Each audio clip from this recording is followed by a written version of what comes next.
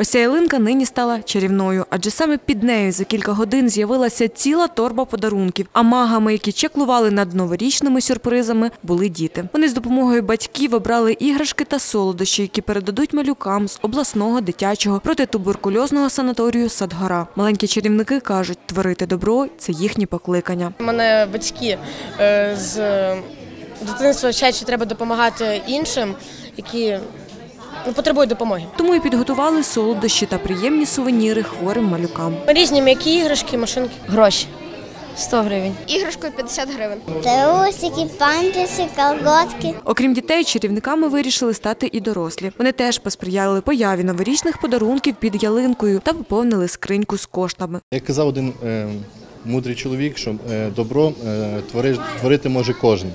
Але щоб повірити в силу добра, потрібно його е, починати е, творити самому.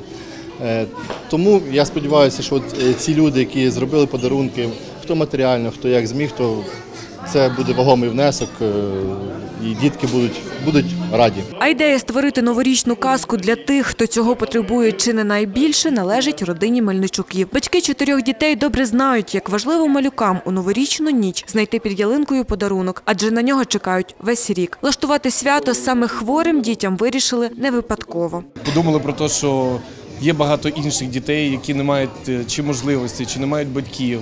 І є багато дитячих будинків, е, де є якісь спонсори, якось допомагають. То в цьому закладі нема такого.